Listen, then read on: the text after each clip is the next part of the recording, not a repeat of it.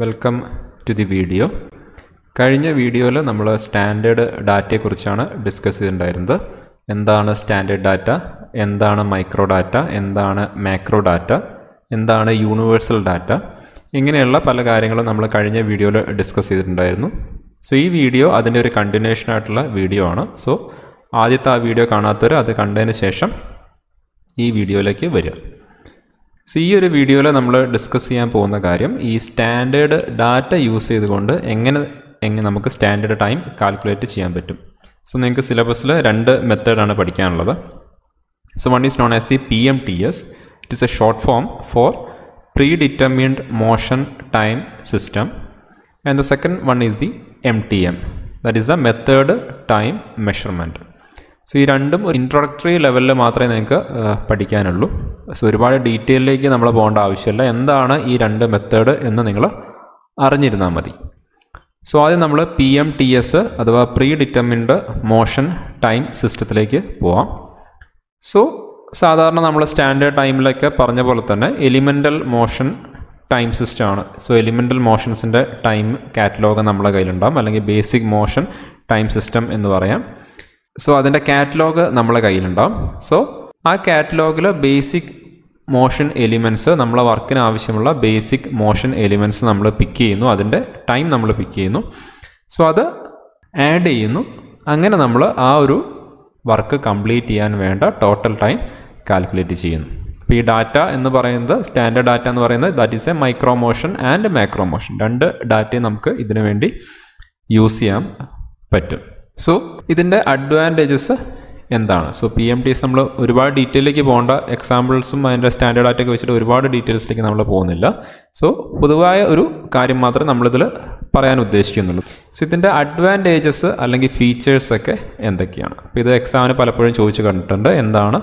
P M T S അല്ലെങ്കിൽ P predetermined motion time സിസ്റ്റത്തിന്റെ features അല്ലെങ്കിൽ advantages എന്തൊക്കെയാണെന്ന് ചോദിച്ചിട്ടുണ്ട്. First one is the it eliminates the inaccuracies associated with the stopwatch time study അപ്പോൾ stop watch time സ്റ്റഡിയിൽ നമുക്ക് ഉണ്ടാവാൻ chance ഉള്ള ഇൻആക്യുറസീസ് നമുക്കിവിടെ ഒഴിവായി കിട്ടും. അപ്പോൾ സ്റ്റോപ്പ് വാച്ചൊക്കെ നമ്മൾ പല ടൈപ്പ് സ്റ്റോപ്പ് വാച്ചൊക്കെ പറഞ്ഞിട്ടുണ്ടായിരുന്നു. സോ കണ്ടിന്യൂസ് ആയിട്ടൊക്കെ എലിമെന്റ്സ് വരുന്ന സമയത്ത് സ്റ്റോപ്പ് വാച്ച് ടൈം സ്റ്റഡിയിൽ നമ്മൾ മെഷർ ചെയ്യാൻ ബുദ്ധിമുട്ടായിരിക്കും. ഒരു എലിമെന്റ് എടുത്ത് നമ്മൾ റീഡിംഗ് എടുക്കുമ്പോഴേക്കും ചിലപ്പം അടുത്ത എലിമെന്റ് സ്റ്റാർട്ട് ചെയ്തിട്ടുണ്ടാകും ആ രീതിയിലൊക്കെ ഒരുപാട് ഇൻആക്യുറസീസ് സ്റ്റോപ്പ് വാച്ച് ടൈം സ്റ്റഡിയിൽ വരാൻ ചാൻസ് ഉണ്ട്. അതേപോലെ ഇൻഫ്ലുവൻസ് ചെയ്യാം. വർക്കർ ഈ സ്റ്റോപ്പ് വാച്ച് ടൈം സ്റ്റഡി നടത്തുന്ന ആളെ ഇൻഫ്ലുവൻസ് ചെയ്യാൻ പറ്റും. അങ്ങനെയുള്ള പ്രശ്നങ്ങളൊക്കെ നമുക്കിവിടെ ഒഴിവാക്കാൻ പറ്റും. ഈ ടൈം സ്റ്റഡി നടക്കുന്ന ആൾക്ക് ആ വർക്ക് പ്ലേസ് ഓഫ് വർക്കിലേക്ക് പോകേണ്ട ആവശ്യമില്ല. അല്ലാതെ തന്നെ അയാൾക്ക് ഓഫീസിലിരുന്നുകൊണ്ട് തന്നെ ഈ വർക്ക് കംപ്ലീറ്റ് ചെയ്യാൻ പറ്റും. ഇനി വേറൊരു ഫീച്ചർ നമ്മളിവിടെ ശ്രദ്ധിക്കേണ്ട കാര്യം ഒരിക്കലും റേറ്റിംഗ് ഫാക്ടർ കൊണ്ട് മൾട്ടിപ്ലിക്കേഷൻ വരുന്നില്ല. അതെന്താ കാരണം എന്ന് വെച്ച് കഴിഞ്ഞാൽ നമ്മൾ ഈ കാറ്റലോഗ് സ്റ്റാൻഡേർഡ് ഡാറ്റയുടെ ഡെഫിനേഷൻ പറഞ്ഞ സമയത്ത് തന്നെ നമ്മൾ പറഞ്ഞു it is a catalogue of normal time ആണ്. സോ ഈ സ്റ്റാൻഡേർഡ് ഡാറ്റ ടേബിളിൽ ഉണ്ടാവുന്ന ടൈം മൊത്തം നോർമൽ ടൈമിന്റെ വാല്യൂസ് ആണ്. എന്ന് വെച്ചാൽ നമ്മൾ സ്റ്റോപ്പ് വാച്ച് ടൈം സ്റ്റഡി വഴി എപ്പോഴോ റീഡ് കിട്ടിയ റീഡിങ്ങിന് അതിനെ പെർഫോമൻസ് റേറ്റിംഗ് ഫാക്ടർ കൊണ്ടൊക്കെ മൾട്ടിപ്ലൈ ചെയ്ത് കിട്ടുന്ന ഒരു വാല്യൂ ആണ് നോർമൽ ടൈം വാല്യൂസ് ആണ് നമ്മൾ സ്റ്റാൻഡേർഡ് ഡാറ്റ ടേബിൾസിൽ ഉണ്ടാവുന്നത്. അപ്പോൾ ആ നോർമൽ ടൈം ആണ് നമ്മൾ എടുക്കുന്നത് എന്നുള്ളത് കൊണ്ട് തന്നെ പിന്നെ നമ്മളൊരു റേറ്റിംഗ് ഫാക്ടർ കൊണ്ടുള്ള മൾട്ടിപ്ലിക്കേഷൻ പൊതുവെ സ്റ്റാൻഡേർഡ് ഡാറ്റ യൂസ് ചെയ്തുള്ള ടൈം സ്റ്റഡിയിൽ നമ്മൾ ചെയ്യാറില്ല. So P M T S data കുറച്ചും കൂടി റിലയബിൾ ആണ്. നമ്മൾ സ്റ്റോപ്പ് വാച്ചിങ് ടൈം സ്റ്റഡി ആയിട്ട് കമ്പയർ ചെയ്യുന്ന സമയത്ത്. കാരണം നമ്മൾ ഈ സ്റ്റാൻഡേർഡ് ഡാറ്റ ടേബിൾ ഉണ്ടാക്കുന്നത് ഒന്നോ രണ്ടോ ഒബ്സർവേഷൻസ് വെച്ചിട്ടായിരിക്കില്ല. അപ്പോൾ നമ്മളൊരു വർക്കിന്റെ ഒരു എലിമെന്റ് നമ്മൾ നോക്കിക്കഴിഞ്ഞാൽ അതിന്റെ സ്റ്റാൻഡേർഡ് ഡാറ്റ നോക്കിക്കഴിഞ്ഞാൽ അത് ഒരുപാട് ഒബ്സർവേഷൻസിന്റെ ഒരു ആവറേജ് വാല്യൂസ് ആണ് നമ്മൾ സ്റ്റാൻഡേർഡ് ഡാറ്റ ടേബിളിൽ ഉണ്ടാവുക. അപ്പോൾ ആ വാല്യൂസ് എടുത്തുകൊണ്ടാണ് നമ്മൾ ടോട്ടൽ ടൈം കാൽക്കുലേറ്റ് ചെയ്യുന്ന ഉള്ളത് കൊണ്ട് തന്നെ നമ്മൾ കുറച്ചും കൂടി സ്റ്റോപ്പ് വാച്ച് ടൈം സ്റ്റഡിയെക്കാട്ടി റിലയബിൾ ആണ്. അപ്പോൾ സ്റ്റോപ്പ് വാച്ച് ടൈം സ്റ്റഡി വെച്ച് നമ്മളൊരു പുതിയ വർക്ക് മെഷർ ചെയ്യാൻ പോകുന്ന സമയത്ത് നമുക്ക് ലിമിറ്റേഷൻസ് ഉണ്ട്. ഒന്നോ രണ്ടോ മൂന്നോ മെഷർമെന്റ്സ് ഒക്കെ എടുക്കാൻ പറ്റുള്ളൂ. പക്ഷേ കുറച്ചും കൂടി റിലയബിൾ ആയിട്ട് നമുക്ക് ഈ ഒരു P M T S method അല്ലെങ്കിൽ പൊതുവേ സ്റ്റാൻഡേർഡ് ഡാറ്റ യൂസ് ചെയ്തിട്ടുള്ള ടൈം സ്റ്റഡിയിൽ നമുക്ക് റിലയബിൾ ആയിട്ട് ചെയ്യാൻ പറ്റും. സോ ഒരു ടൈം സ്റ്റഡി നടത്താൻ വേണ്ട ടൈമും അതേപോലത്തെ അതുമായിട്ട് അസോസിയേറ്റ് ചെയ്തിട്ടുള്ള കോസ്റ്റും ഇവിടെ കുറവാണ്.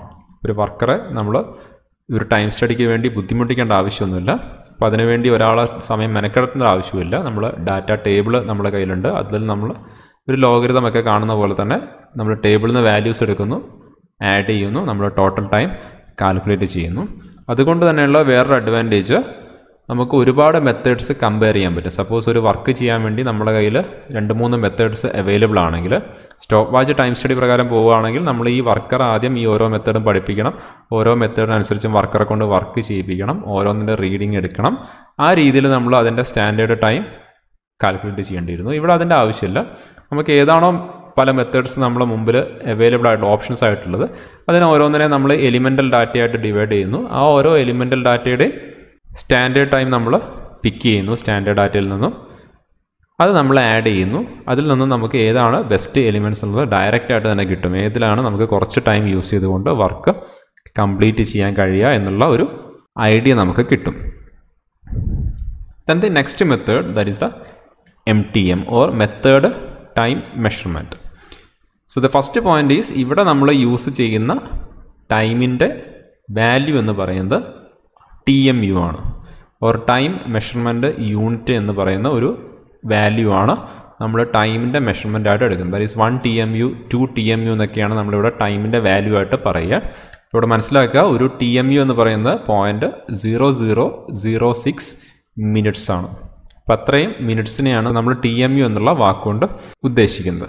അപ്പോൾ ഇവിടെ നമ്മൾ ബേസിക് മോഷൻ എലിമെന്റ്സ് തന്നെയാണുള്ളത്. ആ ബേസിക് മോഷൻ എലിമെന്റ്സിന്റെ ടൈം നമ്മൾ സ്റ്റാൻഡേർഡ് ഡാറ്റയിൽ നിന്ന് എടുക്കുന്നു ആഡ് ചെയ്യുന്നു ടോട്ടൽ ടൈം കാൽക്കുലേറ്റ് ചെയ്യുന്നു. സോ പക്ഷേ ഇവിടെ ബേസിക് ഹ്യൂമൻ മൂവ്മെന്റ്സ് എന്ന് പറയുന്ന ഡെഫിനേഷനകത്ത് എം ടി എമ്മിനകത്ത് പറയുന്ന കുറച്ച് ബേസിക് ഒരു പത്ത് ബേസിക് ഹ്യൂമൻ മൂവ്മെന്റ്സിന്റെ എലിമെന്റ്സ് ഉണ്ട് ഇതാണ് നമ്മൾ എം ടി എമ്മിൽ ബേസിക് മൂവ്മെന്റ്സ് ആയിട്ട് എടുക്കുക. നേരത്തെ നമ്മൾ പറയുന്ന പി എം ടി എസിൽ അങ്ങനെ ഒരു ഡാറ്റ നമ്മളെ ഇല്ല. അതായത് ഏതൊക്കെയാണ് ബേസിക് മോഷൻസ് എന്നുള്ളത് നമ്മൾ ഡിഫൈൻ ചെയ്ത് പ്രത്യേകം പറയുന്നില്ല. അത് നമ്മൾ ഓപ്പറേഷൻ അനുസരിച്ച് തീരുമാനിക്കുക. ഏതൊക്കെയാണ് നമ്മൾ ബേസിക് മോഷൻസ് ആയിട്ട് എടുക്കേണ്ടത്? വേണമെങ്കിൽ തെർബ്ലിക്ക് അതേപോലെ നമുക്ക് കോപ്പി ചെയ്യാം. അല്ലെങ്കിൽ നമുക്കൊരു വർക്കിന് അനുയോജ്യമായുള്ള രീതിയിൽ മാക്രോ ഡാറ്റ നമുക്ക് ഫോം ചെയ്യാം. അങ്ങനെ നമുക്ക് ചെയ്യാൻ പറ്റും. പക്ഷേ എം ടി എമ്മിൽ കൃത്യമായിട്ട് പത്ത് ടൈപ്പ് ബേസിക് ഹ്യൂമൻ മൂവ്മെന്റ്സിനെ പറ്റി മൂവ്മെന്റ്സിനെ പറ്റി പറയുന്നുണ്ട്. ആ ബേസിക് മൂവ്മെന്റ്സിനനുസരിച്ചാണ് നമ്മൾ ടേബിൾ ഉണ്ടാവുകയും ആ ടേബിളിൽ നിന്നാണ് നമ്മൾ കാര്യങ്ങൾ പിക്ക് ചെയ്യുകയും വേണ്ടത്. അപ്പോൾ ഇവിടെ ശ്രദ്ധിക്കുക ഇവിടെ തെർബ്ലിക്ക് എന്നുള്ളത് നമ്മൾ ഡയറക്റ്റായിട്ട് എം ടി എമ്മിനകത്ത് യൂസ് ചെയ്യുന്നില്ല. അപ്പോൾ ഈ ഓരോ ബേസിക് മൂവ്മെന്റ്സ് മൂവ്മെന്റ്സിന്റെയും കോംപ്ലക്സിറ്റിക്ക് അനുസരിച്ച് അതായത് kind of motions and conditions under which it is made അപ്പോൾ അതിനനുസരിച്ച് കോംപ്ലക്സിറ്റിക്ക് അനുസരിച്ചുള്ള ഒരു ടൈം വാല്യൂ നമ്മൾ മെഷർ ചെയ്യും. ഒന്നുകൂടി അത് മനസ്സിലാക്കാൻ വേണ്ടി നമ്മളൊരു എക്സാമ്പിൾ പറയാം. സപ്പോസ് എ ബി എന്ന് പറയുന്ന രണ്ട് പോയിന്റ് ഇടയ്ക്ക് ഒരാൾക്ക് നടക്കണം. സപ്പോസ് എയും ബിയും തമ്മിൽ നൂറ് മീറ്റർ ഡിസ്റ്റൻസ് ആണ് ഉള്ളത്.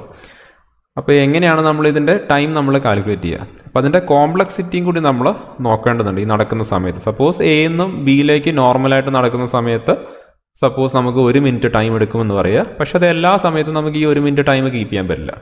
കാരണം ചിലപ്പോൾ നമ്മൾ എ ആൻഡ് ബി എന്ന് പറയുന്ന ഈ രണ്ട് പോയിന്റ് ഇടയ്ക്ക് സർഫസ് സ്ലിപ്പർ ചെയ്യാന്ന് വിചാരിക്കുക. സോ ഓയിൽ കിടക്കുന്ന ഒരു സർഫസാണ് അപ്പോൾ അതിൽ ഈ ഒരു മിനിറ്റ് നമുക്ക് ഇവിടെ അപ്ലൈ ചെയ്യാൻ പറ്റില്ല. കാരണം അവിടെ കണ്ടീഷൻ ഡിഫറെന്റ് ആണ്. കുറച്ചും കൂടി ശ്രദ്ധിച്ച് വേണം നടക്കാൻ. ഇനിയല്ല ഒരു വർക്കർ എ എന്ന് ബിയിലേക്ക് നടക്കുന്ന സമയത്ത് കയ്യിൽ ഒരു ഇരുപത്തഞ്ച് കിലോ ഭാരമുള്ള ഒരു വർക്ക് പീസും കൊണ്ടാണ് നടക്കുന്നത്. സോ ആ സമയത്ത് അഗെയിൻ കണ്ടീഷൻ ഡിഫറെന്റ് ആണ്. So A to B reach ചെയ്യാൻ വേണ്ടിയിട്ട് കുറച്ച് ടൈം കൂടുതൽ അയാൾ എടുത്തേക്കാം. അപ്പോൾ ആ രീതിയിൽ ഒരു ബേസിക് മോഷൻ എലിമെന്റ്സ് എടുത്തു കഴിഞ്ഞാലും അതിന്റെ കോംപ്ലക്സിറ്റിയും കൂടി നോക്കിയിട്ടാണ് നമ്മൾ ടേബിളിൽ നിന്നും അതിന്റെ ടൈം വാല്യൂ എടുക്കുക. സോ അങ്ങനെ എടുക്കുന്ന എല്ലാ ടൈമും കൂടി ആഡ് ചെയ്ത് കഴിഞ്ഞാൽ നമുക്ക് ആ ഒരു വർക്കിന്റെ സ്റ്റാൻഡേർഡ് ടൈം നമുക്ക് കിട്ടും. സോ നെക്സ്റ്റ് സ്ലൈഡിൽ നമ്മൾ ഈ പത്ത് type basic human motion elements ഏതൊക്കെയാണ് എന്നാണ് നമ്മൾ പറയുന്നത്. That is first one is the reach എന്ന് പറയും.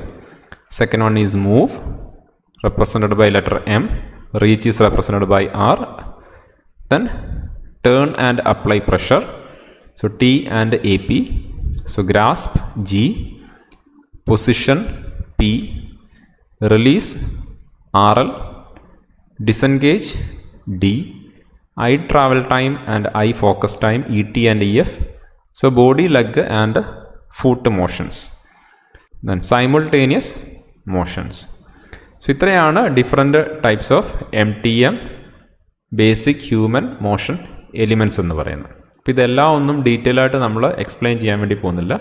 സോ ഒരു എക്സാമ്പിൾ മാത്രം റീച്ച് എന്നുള്ളതിന്റെ ഒരു എക്സാമ്പിൾ മാത്രം നമ്മൾ പറഞ്ഞിട്ട് ഇന്നത്തെ വീഡിയോയിൽ കൺക്ലൂഡ് ചെയ്യും. ബാക്കി ഡീറ്റെയിൽസൊക്കെ വേണ്ടവർ ടെക്സ്റ്റ് ബുക്ക് റെഫർ ചെയ്യാവുന്നതാണ്. കാരണം അത്രയും ഒരു ഡീറ്റെയിൽ ആയിട്ടുള്ള വീഡിയോ ആയിട്ട് ഇത് ചെയ്യാൻ വേണ്ടി ഉദ്ദേശിക്കുന്നില്ല. നിങ്ങൾക്ക് ഒരു ഇൻട്രൊഡക്ഷൻ ലെവലിൽ മാത്രമേ സിലബസ് പ്രകാരം നിങ്ങൾക്കിത് പഠിക്കേണ്ട ആവശ്യമുള്ളൂ. സോ ആ ഒരു ലെവലിൽ മാത്രമേ ഈ വീഡിയോ ഉണ്ടാവുള്ളൂ. സോ ഡീറ്റെയിൽ ആയിട്ട് മനസ്സിലാക്കേണ്ട ആൾക്കാർ ടെക്സ്റ്റ് ബുക്ക് ഒ പി പോലുള്ള ഇൻഡസ്ട്രിയൽ എഞ്ചിനീയറിംഗ് ടെക്സ്റ്റ് ബുക്ക് വായിച്ചു കഴിഞ്ഞാൽ അതിൽ ഡീറ്റെയിൽ ആയിട്ട് ഈ ഓരോ എലിമെന്റേയും പല ടൈപ്പ് കണ്ടീഷൻസിലുള്ള ഓരോ ടൈം വാല്യൂസൊക്കെ വെച്ചിട്ടുള്ള എക്സ്പ്ലനേഷൻസ് കൊടുത്തിട്ടുണ്ട്. സോ ഒരു എക്സാമ്പിൾ പറയാം. That is there are five cases for motion reach അപ്പോൾ റീച്ച് എന്ന് പറയുന്ന ഒരു മോഷൻ എലിമെന്റിന് അഞ്ച് കണ്ടീഷനിലുള്ള റീച്ച് ഉണ്ട്. ഇതാണ് നമ്മൾ നേരത്തെ പറഞ്ഞ കണ്ടീഷൻസ് അനുസരിച്ചുള്ള ഒരു ടൈം വാല്യൂ വേണം നമ്മൾ ടേബിളിൽ നിന്ന് സെലക്ട് ചെയ്യാൻ. ഇപ്പോൾ റീച്ച് നോക്കുകയാണെങ്കിൽ there is a A reach so which is an object in other hand or an object in fixed location അപ്പോൾ ഒരു കയ്യിൽ നിന്നുള്ള ഒരു ഒബ്ജക്റ്റ് നമ്മൾ മറ്റേ കയ്യിലേക്ക് മാറ്റുക. അല്ലെങ്കിൽ ഒരു ഫിക്സ്ഡ് പൊസിഷനിലുള്ള ഒബ്ജക്റ്റ് നമുക്കറിയാം അവിടെയാണ് ഒബ്ജക്റ്റ് ഉള്ളത്. അവിടെ പോയി അത് അവിടെ പോയിട്ട് നമ്മളത് എടുക്കാൻ വേണ്ടി നോക്കുന്നു റീച്ച് ചെയ്യുന്നു. അപ്പോൾ അതൊക്കെ എ റീച്ചിൽ വരുന്നതാണ്. ഇനി ബി റീച്ച് എന്ന് വെച്ച് കഴിഞ്ഞാൽ ഒരു single object location which may vary a little from cycle to cycle cycle of operations ഓരോ പ്രാവശ്യം നമ്മൾ ആ ഒബ്ജക്റ്റ് യൂസ് ചെയ്യേണ്ട സമയത്ത് അതിന്റെ ലൊക്കേഷൻസിൽ ചെറിയ ടൈപ്പ് വേരിയേഷൻസ് ഒക്കെ വരാം. ലൊക്കേഷൻ ചെറുതായിട്ട് അങ്ങോട്ടും ഇങ്ങോട്ടും ഒക്കെ മാറാം. എന്നുള്ള രീതിയിലുള്ള റീച്ച് ആണെങ്കിൽ that is a B reach എന്ന് പറയും. The next one is the C reach so ഒരു ഒബ്ജക്റ്റ് ഒരു ഗ്രൂപ്പിൽ മറ്റുള്ള കുറേ ഒബ്ജക്റ്റുകളുടെ കൂടെ ഗ്രൂപ്പായിട്ട് കിടക്കുകയാണ്. അപ്പോൾ ആ സമയത്ത് സി റീച്ച് ആണ്. അതായത് നമ്മൾ കുറച്ച് ആദ്യം ആ ഒബ്ജക്റ്റ് നോക്കി കണ്ടുപിടിച്ചതിന് ശേഷം വേണം അതിലേക്ക് നമ്മൾ കൈ റീച്ച് ചെയ്യാൻ വേണ്ടിയിട്ട്. അപ്പോൾ ആ ടൈപ്പ് സി റീച്ചിലാണ് വരിക. കുറച്ചും കൂടി ടൈം നമുക്ക് കൂടുതലെടുക്കും the next one is a D reach so object വളരെ ചെറുതാണ്. ഇപ്പം നമ്മൾ വളരെ സൂക്ഷിച്ച് വേണം എടുക്കാൻ. ഇപ്പം നമ്മൾ വാച്ച് റിപ്പയർ ചെയ്യുന്ന സമയത്തൊക്കെ ഒബ്ജക്റ്റ് ഒക്കെ എടുക്കുന്ന സമയത്ത് നമ്മൾ സാധാരണ നട്ടും ബോൾട്ടും എടുക്കുന്ന പോലെ എടുക്കാൻ പറ്റില്ല. നമ്മൾ അതിന്റെ ആ ഇൻസ്ട്രുമെന്റ് ഒക്കെ വെച്ചിട്ട് നമ്മൾ ആ പിക്ക് ചെയ്യാനുള്ള ഇൻസ്ട്രുമെന്റ് ഒക്കെ വെച്ചിട്ട് സൂക്ഷിച്ച് വേണം എടുക്കേണ്ടി വരിക. അപ്പോൾ വളരെ സ്മോൾ ആയിട്ടുള്ള ഒബ്ജക്റ്റ് ഒക്കെ നമ്മൾ പിക്ക് ചെയ്യേണ്ട ഒരു ആവശ്യം വരികയാണ്. അല്ലെങ്കിൽ റീച്ച് ചെയ്യേണ്ട അതിലേക്ക് എത്തേണ്ട ഒരു ആവശ്യം വരികയാണെങ്കിൽ കൈ എത്തി പിടിക്കേണ്ട ഒരു ആവശ്യം വരികയാണെങ്കിൽ ദാറ്റ് ഈസ് ഡി റീച്ച് എന്നുള്ള ഒരു കാറ്റഗറിയിലാണ് വരിക. Next one is the E reach location എവിടെയാണെന്ന് നമുക്കറിയില്ല. That is an indefinite location so കുറച്ച് ഏന്തി വലിഞ്ഞും ബോഡി ബാലൻസ് ഒക്കെ ചെയ്ത് നമ്മൾ ഏതെങ്കിലും ഒരു പൊസിഷൻ നിന്നൊക്കെ എടുക്കുന്ന ഒരു സിറ്റുവേഷൻ കൃത്യമായിട്ട് അറിയാത്ത ഒരു ലൊക്കേഷനിൽ നിന്ന് നമ്മൾ അത് എടുക്കുന്ന ഒരു സിറ്റുവേഷനൊക്കെ ഈ ടൈപ്പ് റീച്ചിലാണ് വരിക. അപ്പോൾ ഇതൊക്കെയാണ് നമ്മൾ ഡിഫറെന്റ് ടൈപ്സ് ഓഫ് കണ്ടീഷൻസ് എന്ന് ഉദ്ദേശിച്ച കാര്യങ്ങൾ. അപ്പോൾ ഇതിന്റെ ടേബിൾ നമുക്കൊന്ന് നോക്കാം. സോ നിങ്ങളുടെ ടെക്സ്റ്റ് ബുക്കിലുള്ള ഒരു ടേബിളാണിത് so T M U values ഇവിടെ കൊടുത്തിട്ടുണ്ട്. ദെൻ ഇവിടെ നമ്മൾ പറയുന്നുണ്ട്. So A B C or D types ആണ് നമ്മൾ നേരത്തെ പറഞ്ഞ. തൊട്ട് മുമ്പത്തെ സ്ലൈഡിൽ എക്സ്പ്ലെയിൻ ചെയ്ത type A type B type C or D and type E എന്ന് പറയുന്ന ഡിഫറെന്റ് കണ്ടീഷൻസ് ഇവിടെ കോളംസ് ആയിട്ട് കൊടുത്തിട്ടുണ്ട്. The next one distance move in inches എത്ര ഡിസ്റ്റൻസ് ആണ് നമ്മൾ മൂവ് ചെയ്യേണ്ടത്? സോ കൈ മൂവ് ചെയ്യിക്കേണ്ട ഡിസ്റ്റൻസ് റീച്ച് ചെയ്യാൻ വേണ്ടി മൂവ് ചെയ്യിക്കേണ്ട ഡിസ്റ്റൻസ് എത്രയാണ്? സോ ഇഞ്ചസിലാണ് കൊടുത്തിട്ടുള്ളത്. സോ മുക്കാൽ ഇഞ്ച് അല്ലെങ്കിൽ രണ്ട് ഇഞ്ച് ആ രീതിയിലുള്ള പല ടൈപ്പ് ഇഞ്ചസിലുള്ള വാല്യൂസ് ഇവിടെ കൊടുത്തിട്ടുണ്ട്. അപ്പോൾ നമ്മൾ ആദ്യം എത്ര ഇഞ്ചസിലാണ് നമ്മൾ കൈ മൂവ് ചെയ്യിക്കേണ്ടത് നോക്കുക. ആ ഇഞ്ചിന് കറസ്പോണ്ടിങ് ആയിട്ട് റീച്ച് ഏത് ടൈപ്പാണെന്ന് നോക്കുക. എ ടൈപ്പ് റീച്ച് ആണോ നമുക്ക് ചെയ്യാനുള്ളത് ബി ടൈപ്പ് റീച്ച് ആണോ C or D type reach ആണോ അങ്ങനെയുള്ള കാര്യങ്ങൾ നമ്മൾ നോക്കുക. അപ്പോൾ അതിൽ കറസ്പോണ്ടിങ് ആയിട്ടുള്ള റീച്ചിന് കറസ്പോണ്ടിങ് ആയിട്ടുള്ള T M U value so it is a T M U value നമ്മൾ നേരത്തെ പറഞ്ഞു what is one T M U അപ്പോൾ ടി എം യു വാല്യൂസ് ആണ് ഇവിടെ കൊടുത്തിട്ടുള്ളത്. ആ ടി എം യു വാല്യൂ നമ്മൾ സെലക്ട് ചെയ്യുന്നു. So how to select the T M U value എന്നുള്ളതാണ് നമ്മളിപ്പം എക്സ്പ്ലെയിൻ ചെയ്ത ഈ കാര്യം. ഡീറ്റെയിൽ ആയിട്ട് പല ബേസിക് ഹ്യൂമൻ എലിമെൻസിന്റെയും ടേബിളൊക്കെ കാണണം. അതിന്റെ എക്സാമ്പിൾസ് ഒക്കെ അറിയണം എന്നുള്ള ആൾക്കാർ ടെക്സ്റ്റ് ബുക്ക് വായിച്ച് നോക്കുക. നമുക്കൊരു എക്സാം പോയിന്റ് ഓഫ് വ്യൂവിൽ ഒരു ഇൻട്രൊഡക്ഷൻ ലെവലിൽ ഉള്ളൊരു ട്രീറ്റ്മെന്റ് നമുക്ക് ഈ ഒരു ടോപ്പിക്കിന് ആവശ്യമുള്ളൂ. സോ അത് മാത്രമാണ് നമ്മൾ ഇന്നത്തെ വീഡിയോയിൽ ഉൾക്കൊള്ളിച്ചിരിക്കുന്നത്. And thank you for watching